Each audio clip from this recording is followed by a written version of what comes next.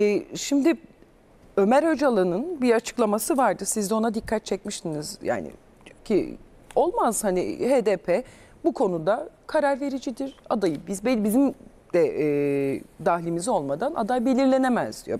Şimdi başka isimlerin de açıklamaları var.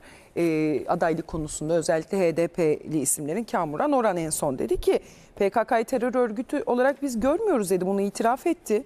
E, ve Onay Partisi'nin genel fikrinin de bu olduğunu vurguladı açıklamasında. PKK'yı terör örgütü olarak görmüyoruz. İkna olmamışsanız da oy vermezsiniz olur biter diyor. Bakalım isterseniz HDP'li Kamuran Onay. Benim ve partimin genel fikridir. PKK'yı terör örgütü olarak görmüyoruz. Siz buna ikna olmamışsanız da oy vermeseniz de olur biter. Şimdi bu vekilin söylediği çok net. Ee, Ömer Öcalan'ın açıklamalarının da e, arkadaşlar ses vardı değil mi? E, onu da bir dinleyelim. Ömer Öcalan HDP'li diğer bir milletvekili neler söylüyor. Onu da bir izleyelim. Genel planda konuşalım. Kimin iktidar olacağına da partimiz HDP karar verecektir. Bunun hamlelerini yapıyor, bunun mücadelesini yürütüyor. Şimdi Ömer Öcalan diyor ki HDP milletvekili biz de karar veririz. HDP karar verecek diyor. Biz siz karar veremezsiniz diyor. Yine aynı partinin HDP'nin diğer milletvekili diyor ki biz PKK terör örgütü olarak PKK'yı görmüyoruz demiyoruz diyor. Sayın Özgür Töre dönmek istiyorum. Eski de bir asker olarak. Şimdi HDP e, mecliste olan siyasi bir parti. E, PKK ile bağlantısı tartışılıyor. Diyor ki biz siz karar veremezsiniz Cumhurbaşkanı'nın tercihine diyor bu masada diyor. Ama diğer bir vekili de diyor ki PKK'yı terör örgütü olarak görmüyoruz. İkna olmamışsanız da oy vermezsiniz diyor. Çok net aslında. HDP ile PKK'nın bağlantısı var. Yani bu olmazsa olmaz bir şey. Zaten HDP PKK'dan destek almazsa o oranını alamaz. E, silahla e, özellikle kırsal kesimde e, korkuyla yani şöyle söyleyeyim diyor ki bu sandıktan şu kadar oy çıkmazsa diyor ben buraya şunu yaparım bunu yaparım diyor PKK'lı teröristler. HDP'nin de oyunu alıyor. Böyle böyle bir realite var yani. Tabii bunu yap bir terörü bitirmek lazım. İki HDP'yi de bu söylemlerinden mahrum etmek lazım. Yani böyle bir siyasi partinin olmasını ben çok doğru bulmuyorum ama Tekrar e, bununla ilgili yargının ne dediniz tam olarak? teröre destek veren bir siyasi oluşum olamaz. Hangi ülkede olursa olsun. Hı. Yani bu akademik anlamda bunun söylenmesi gereken budur. Siz bugün İngiltere'de gidip İngiltere'nin bir bölümünün bu e, de bağımsız bir hareket yapması ile ilgili bir şey söyle, söyleyebilir misiniz? Herhangi bir parti mensubu, yani bir parti kurabilir misiniz? Ve Amerika'da böyle bir şey yapabilir Yapamazsınız. Dolayısıyla Değer, Türkiye'de, Bırakın tabii. destekçisi, sempatizanı bir Burada mecliste yemin ediyorsunuz. Ülkenin varlığına, Senatör. birliğine, Türkiye Cumhuriyeti'ni kuran Türk halkına Türk milleti demiş Büyük Önder Mustafa Kemal Atatürk. Demek ki burada ırksal, mezhepsel, ulusal, busal herhangi bir bölüm üzerinde yoğunlaşılmamış. Yani ulus devlet modeli alınmış. İmparatorluk olsaydı yani Balkanlar Tuna'ya kadar, Tuna'dan işte Arap Yarımadası'na kadar olan coğrafya olsaydı farklı bir şey konuşuyor olabilirdik o zaman. Ama şu anda bir ulus devlet modeliyle nasıl Fransa'nın olduğu gibi, İngiltere'nin olduğu gibi, Almanya'nın olduğu gibi değil mi? Bu ülkenin olduğu gibi Amerika Birleşik Devletleri de benzer e, tarzda. Onlar milleti sonradan yapmaya çalışıyor gerçi. Dolayısıyla bu Türkiye Cumhuriyeti'nin sınırları içerisinde bu bayrağın altında farklı bir oluşumu desteklemek işte e, biz terör olarak e, herhangi bir oluşumu için aynı zamanda siyasi kanatta da bulunuruz. Ondan sonra siyasete yön veririz yaklaşımını ben doğru bulmuyorum. Hı hı. Yani kişisel bu konuda da yargının e, ben aslında e, mutlaka bir adım atması gerektiğini düşünüyorum. Kapatılma davası noktasında. Bilmiyorum niye bu kadar. Yani bu duruma yani, gelmişken bir, bir sonuç hani sonuç çıkmıyor. Yani bakın Türkiye'de yargılama sürecinde sonuç olması lazım aslında. Burada yani olumlu olumsuz o ayrı hani yargıya yerine biz karar veremeyiz ama bu kadar bağlantısı varsa bu, bunun mecliste bunun tekrar söylenmesi, gündeme getirilmesini yani şimdi Türk milletine bir anket yapılsın, referandum yapılsın. Mesela doğru buluyorlar mı, bulmuyorlar mı? Yani o bölgede yaşayanlar dahil olmak üzere. Bu şekilde bir e, metotta bunun daha iyi sonuca gideceğini düşünüyoruz. Ama terörle hiçbir e, partinin e, arasına mesafe koyma lafı doğru değildir. Yeterli de değildir. Hı hı. Terörü hiçbir partinin desteklememesi, uzak kalması lazımdır. Onun dışında siyasi anlamda yapılacak tabii ki yani terör dışında yapılacak herhangi bir söylemede hiç kimse herhangi bir şey olumsuz bir değerlendirme bulunamaz. Yani siyasi anlamda mecliste milletvekilinin dokunulmazlığı bunun üzerinedir. Ama terör bağlantısının bunun ayrı tutulmasının ben önemli olduğunu düşünüyorum. A, buyurun. Eklemek istediğiniz bir şey evet, mi vardı? Evet, buyurun. Ben e, gerçekten yani e, mes- yani mecliste bulunan herkesin e, burada sayın vekilim de var e, sözü meclisten dışarı ama yani belli bir e, kapasiteyi belli bir e, en azından zeka seviyesini taşıyor olmaları gerekir. Şimdi ben bu arkadaşa şunu sormak istiyorum. E, HDP milletvekiline. E, diyorsa HDP'li eğer yönetici bu arada onu düzelteyim. Evet. e, Kamuran Oran. Kamuran. Kamuran Bey'e sormak istiyorum. Şimdi eğer siz PKK terör örgütünü terör örgütü olarak görmüyorsanız birinci sorum ne olarak görüyorsunuz? İkinci sorum eğer terör örgütü değilse bir siyasi hareket ise e, siz nesiniz? Eğer PKK o öyleyse siz niye varsınız? PKK terör örgütü bir siyasi hareket ise, siz de bir siyasi hareket iseniz, siz o zaman birbirinizin rakibi misiniz? Yani siz siz de siyasi hareketsiniz o halde. PKK terör örgütü değilse PKK o halde bir siyasi hareket midir? Ee, aynı alanda e, aynı alanda bulunan bu iki iki farklı yapı e, kardeş ya kardeş olurlar yani ya aynı mecrada aynı fikri zeminde e, aynı şeyi söylüyor olurlar. Aynı şeyi söylüyorsanız birinizin diğerini imha etmesi lazım bu anlamda. Yani rakip değilseniz aynı yolda yürüyorsanız bir bütün içinde de yürüyebilirsiniz. Özgürlükçü, demokratik bir parti olarak tanımlıyor ya HDP. Yani Şimdi kendisi- dediniz ya, ya rakiptir ya kardeştir. Şimdi TKP'den bir açıklama Yani vardı. Kemal Okuyan ben- diyor ki HDP'nin domine ettiği bir oluşumun içinde biz olmayız diyor TKP.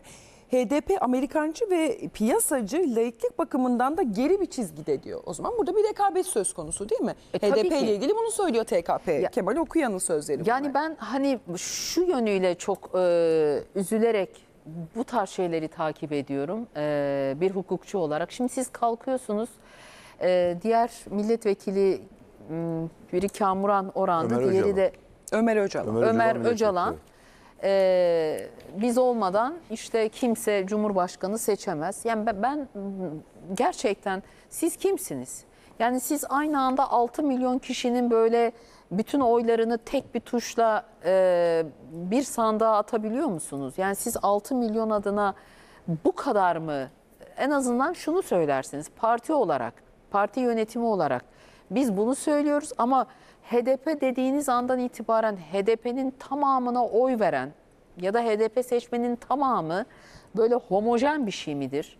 S- e, Ömer Öcalan ne diyorsa onu yapar mı? Ya da Kamuran Uysal ne diyorsa onu mu yapar? Yani bu 6 milyonun hiç mi iradesi yok? Yani bu 6 milyon bir süre sonra e, bazı gerçeklerin farkına varamayacak yani kadar sizin tamamen diyor. tamamen hükmü şahsiyetiniz altında mıdır?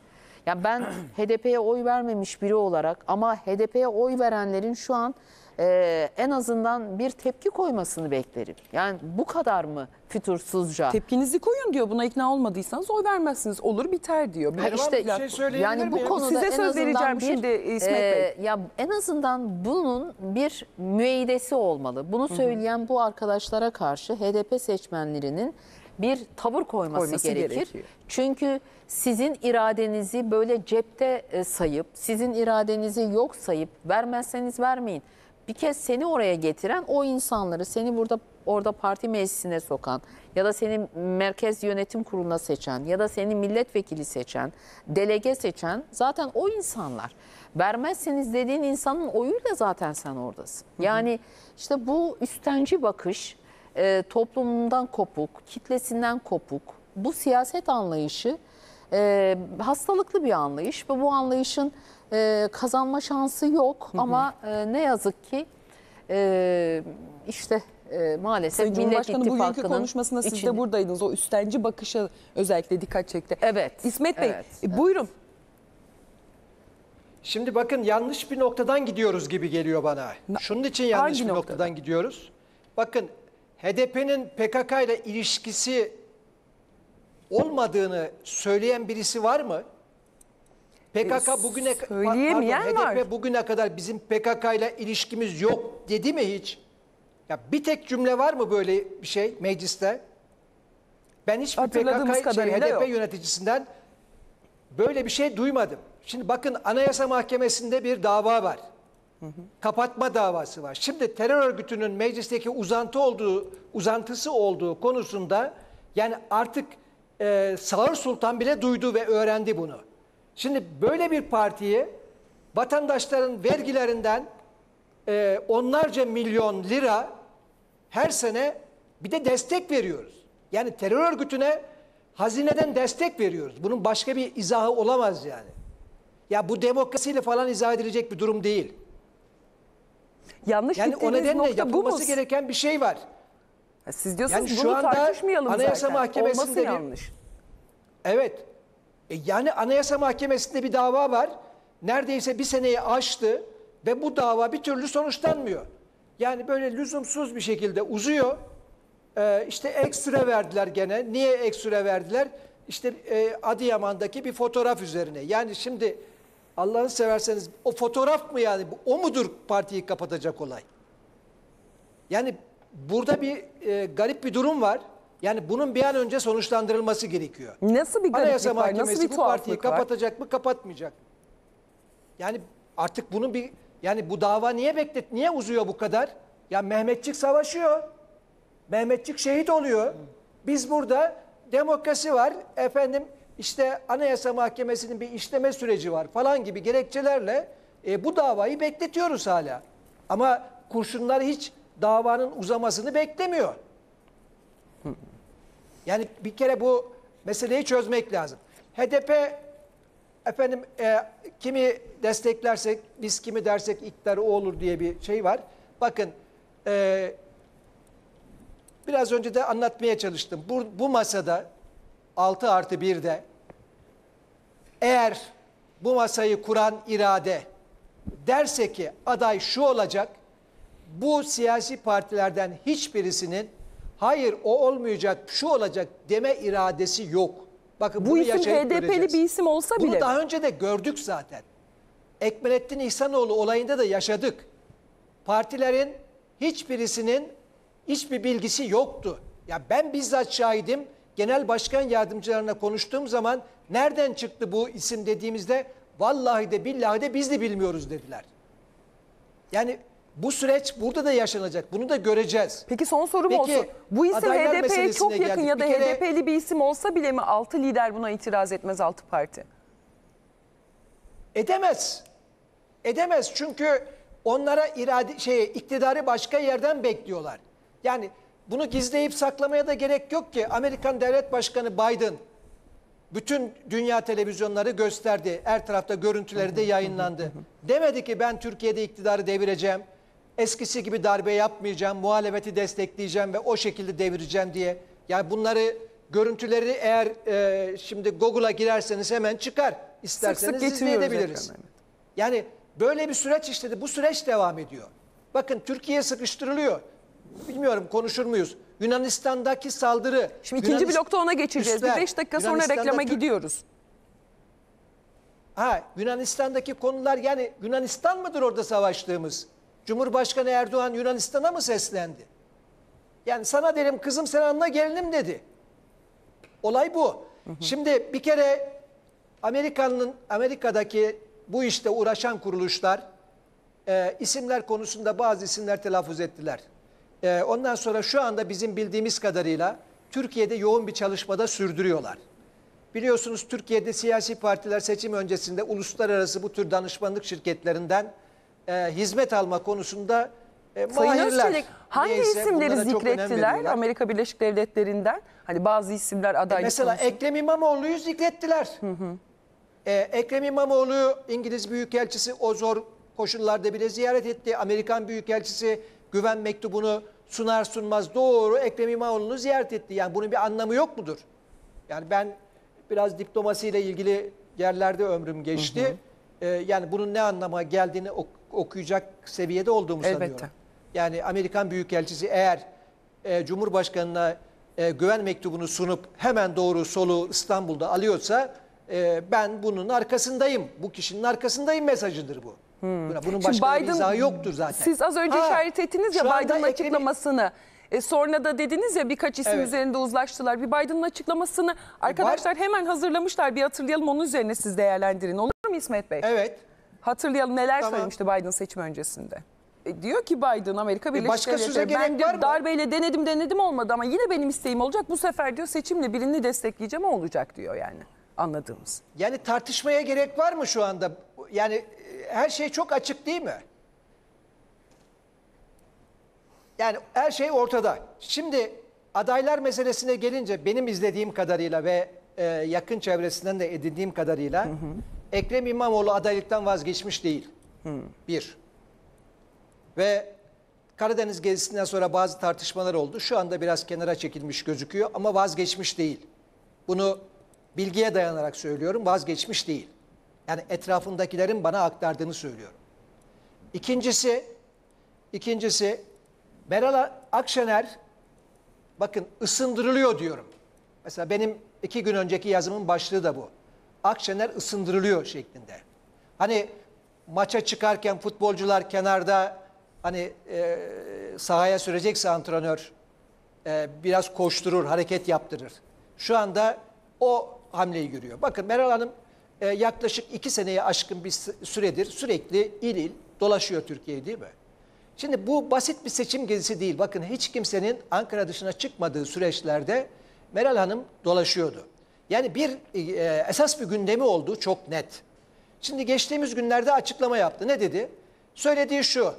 Haziran ayında yüzde yirmileri göreceğiz dedi. Arkasından e, ne dedi? E, az kaldı dedi. Şimdi bu az kaldı derken iktidarın gitmesine mi az kaldı dedi? Yoksa kendisinin e, Millet İttifakı'ndaki birinci parti olmasına mı az kaldı dedi. Ya benim edindiğim bilgilere göre yani yine çevresinden edindiğim bilgilere göre yani ana muhalefet partisi olacağız diyor.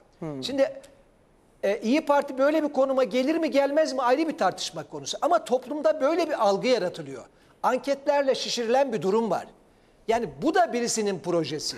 Şimdi Meral Hanım bugün açıklama yapmış. Vallahi de olmayacağım, billahi de olmayacağım diye. Evet. Şimdi aklıma o açıklamayı okuyunca e, Sayın Kılıçdaroğlu'nun Deniz Baykal'a yapılan operasyon sonrasında e, yaptığı bir açıklama geldi. Aday olmayacağım. olmayacağım dedi. Evet ama bir gün sonra Kılıçdaroğlu adaylığını ilan etti. Yani siyasette bu tür tartışmalar, bu tür ifadeler kullanılır.